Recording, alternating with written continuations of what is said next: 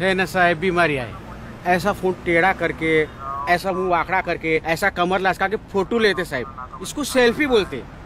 साहब, मैं खुद उनके पास गया, उनको बोला हाई टाइड है ऑलरेडी दो तीन लोग हादसा में डूब गया है, लेकिन नहीं ऐसा सेल्फी लेने का साहब। साहब, उधर तीन लड़के लोग खड़े थे। उसमें से एक लड़की मेरे पास आती है और मेरे को बोलती है it's democracy it's my life काय म्हणायचंय साहेब? आता जीवच राहणार नाही. तर डेमोक्रेसीच्या काय लोणचा घालायचा आहे? हाँ साहब जब लाइफ ही नहीं रहेगी तो डेमोक्रेसी का क्या करोगे?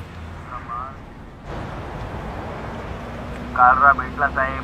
टी टू इंटरनॅशनल पार्किंग लॉटमध्ये लाल Alto M H zero two one zero one eight पिछले हफ्ते एक लड़की और उसके कुत्ते को मार के फरार था. घेऊन जात आहे साहेब आता पोलीस स्टेशनमध्ये. मीडिया प्रेस वाले पुलिस स्टेशन से हंड्रेड मीटर लांब क्या बात है? सर थोड़ा डील होता तो हाथ से निकल जाता। टाइमिंग है सर और बॉलीवुड पिक्चर में क्या दिखाते? कि पुलिस की एंट्री हमेशा लेट सॉरी साहेब अरे बात सुन वो गणपति का स्थल क्या डेट है? अभी 25 तारीख को सर इस बार थोड़ा जल्दी आ रहा है। साहब मेरे आई को लालबाग का दर्शन करने का है। मेरे को पूछती है तेरा पोस्टिंग उधर हुआ है कि नहीं? मैं बोला तू अकेली जा अगली बार देखेंगे. रावत गणपति तो तेरे घर हर साल आते हैं ना? हाँ साहब मिसेस लेके आती है ना हर साल। तीन दिन का गणपति है। पिछले साल तो हाइट हो गया था सर। तीनों दिन घर जाने ही नहीं मिला। काय म्हणता साहेब? मग? सर मुझे ना भीड़ का वो है। वो वो कहते हैं ना सर? फोबिया वो सर। वही वही।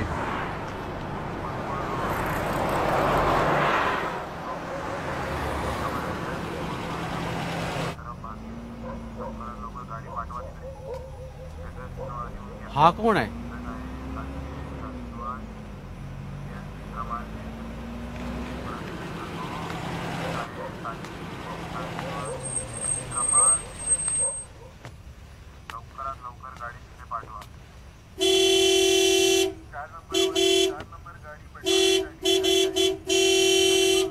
बुड्ढा है।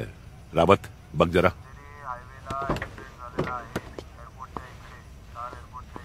ओ बाबा काय झालं? सब ठीक है? क्या अंकल? दो बज गए। घरी जाऊन झोपा।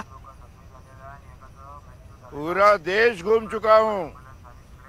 कोई स्टेट या शहर नहीं बचा जहाँ मेरे पिताजी का ट्रांसफ़र नहीं हुआ।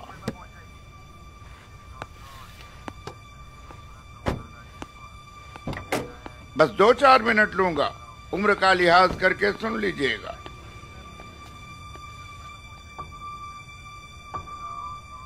भारतीय रेल में टीसी थे मेरे पिताजी और मेरी माँ, एक हाउसवाइफ। बीस साल का था जब पिताजी का ट्रांसफ़र मुंबई में हुआ। तब ये बॉम्बे था। यहाँ आते ही इस शहर से मुझे मोहब्बत हो गई। लव एट फ़र्स्ट साइट पर कई सालों तक मैं ये नहीं समझ पाया कि आखिर वो क्या चीज़ है। इसने मुझे हमेशा के लिए यहाँ रोक के रखा। पिताजी का ट्रांसफ़र तो दूर की बात। यहाँ तक कि मेरे गाँव की ज़मीन का बंटवारा भी मुझे यहाँ से हिला नहीं सका। फिर मैंने काम संभाल लिया, घर बसा लिया। बहुत कुछ बदल गया। बॉम्बे से ये शहर मुंबई हो गया। मैं एक टीचर से रिटायर्ड टीचर बन गया। लेकिन मेरा प्यार नहीं बदला। वो कम नहीं हुआ। आखिर क्यों? और आज 45 साल के बाद मुझे ये बात समझ आ गई। जब मेरा 12 साल का पोता छह किलोमीटर साइकिल चलाकर शाम के आठ बजे ट्यूशन से घर वापस आया।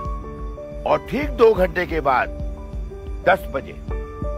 मेरा सैतालीस साल का बेटा चार घंटे ट्रैफ़िक से जूझते हुए ऊपर से नीचे भीगे हुए सही सलामत ऑफ़िस से घर पहुँच गया। और आधे घंटे पहले रात के डेढ़ बजे मेरी 20 साल की पोती शॉर्ट्स पहने हुए लोकल ट्रेन से पार्टी मनाकर सुरक्षित घर वापस आए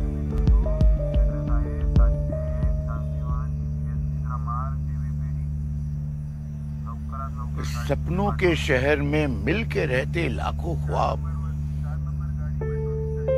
इसके खूबसूरती से जलते हैं कोई दाऊद तो कोई कसाब। पर सुरक्षा की जो शपथ ली आपने, उसे बखूबी निभाते हैं आप। दिवाली में पटाखे फोड़े तब, या ईद में तोड़े रोजा सब आता है मन में ये सवाल, तब मिलता है आराम आपको कब?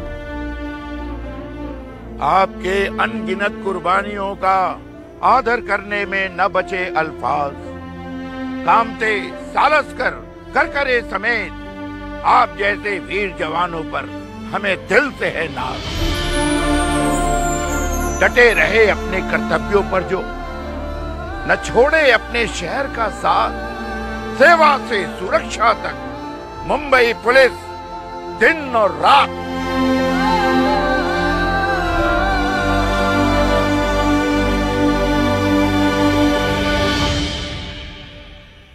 गाली देने वाले तो बहुत हैं आपको।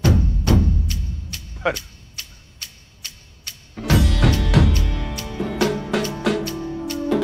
थैंक यू बोलने वाला कोई नहीं।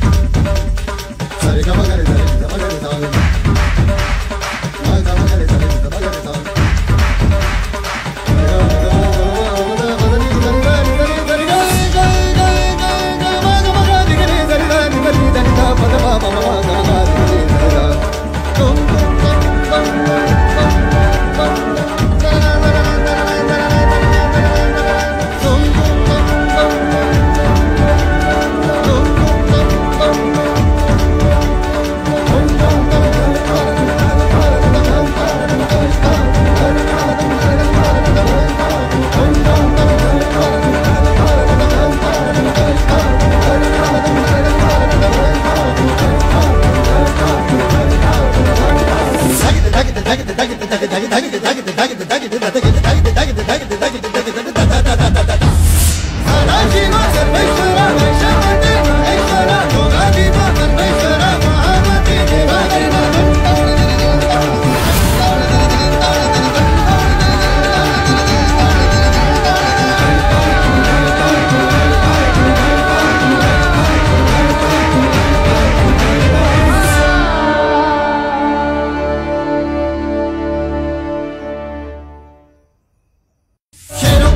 भिड़े पीछे कभी न हटे सबके लिए है खड़े, सारे जगह से लड़े पेड़ों की छाँव सा रब की दुआओं सा।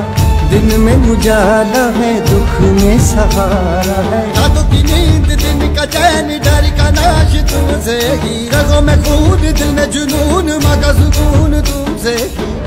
नींद दिन का चैन, डर का नाश तुमसे। ही मैं में खून, दिल में जुनून, माँ का सुकून